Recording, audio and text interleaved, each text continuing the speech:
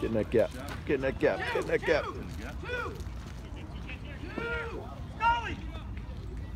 Way to go. hustle, son. Yep, way to go. Way to go.